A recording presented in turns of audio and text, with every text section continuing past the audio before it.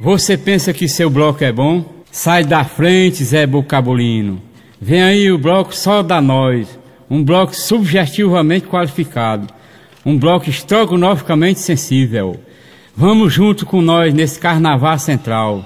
Neste carnaval central, seja um folião estrogonoficamente neobrostético.